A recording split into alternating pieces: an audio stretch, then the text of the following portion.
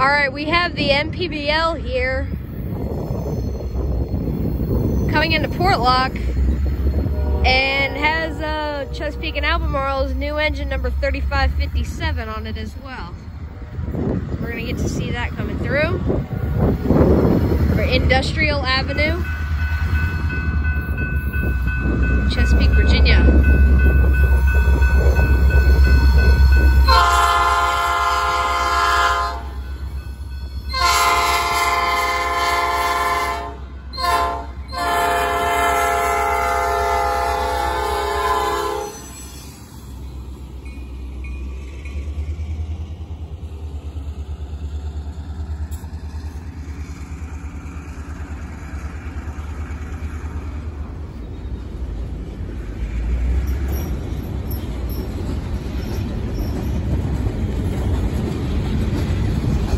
Beautiful engine.